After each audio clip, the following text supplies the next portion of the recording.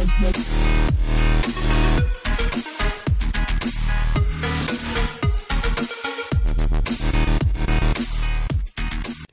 guys, I am going to be doing a review on the Bay or Bai, however you guys pronounce it, uh, the these juice drinks.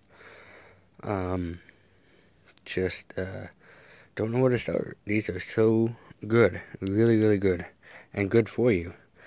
Um, there's only one gram of sugar in it.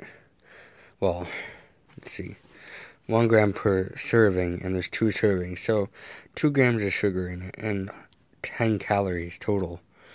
Um, so if you are someone with diabetes or are on a diet and don't want to have too much sugar or calories, this is the drink for you.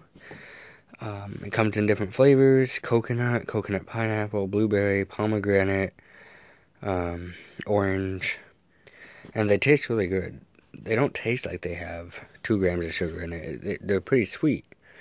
So, whatever sugar is in it must be artificial. No, it says no artificial sweeteners. Um, then it must be natural sugar. Um, yeah, these are really good drinks for you. Uh, I see the commercials, the brilliant commercials they have uh, with Justin Timberlake. Um, those are really good commercials. They have a really good marketing scheme for these.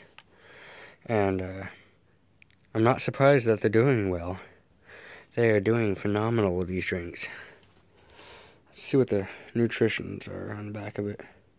Zero fat, 35 grams of sodium, uh, 180 grams of potassium, 1 sugar, 6 carbohydrates, 5 erythritol, 0 protein, 10% protein, or 10% vitamin E.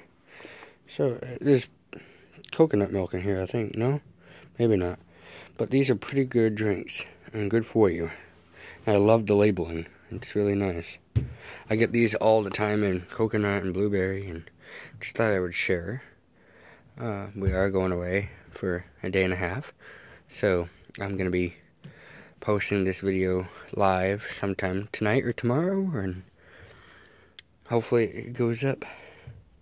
But yeah, I just want to share that with you guys. Be sure to leave a like and subscribe down below, and as always, thanks for watching.